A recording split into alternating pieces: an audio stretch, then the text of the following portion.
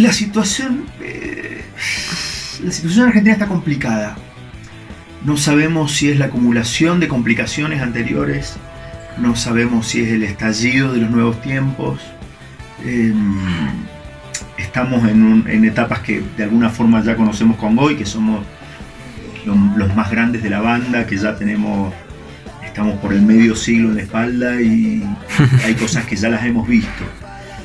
Y muchas no nos gustan y nos rebelan y nos enojan y a la vez este, son tiempos de intolerancia y nosotros pedimos tolerancia y hay días en los que nosotros estamos intolerantes. Eh, es, complicado para nuestros ánimos y nuestras personalidades incluso. Así que bueno, estamos...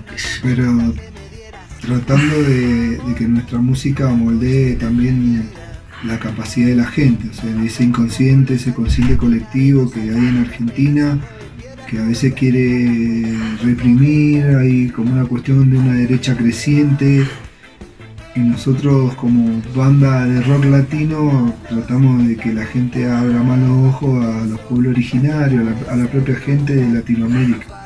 Argentina de nuevo está con una visión muy euro, euro, euro- europeizada. europeizada la situación y quieren vivir en Suiza. Y Claro. nosotros somos latinoamericanos y cada vez estamos más mestizados. Nuestra música un poco representa esa cultura y en México estar en el Skatex eh, representa de- un poco la legalidad de decir este, la música latina en México es todo. Ha sido, se transformó en la capital del rock latinoamericano Claro.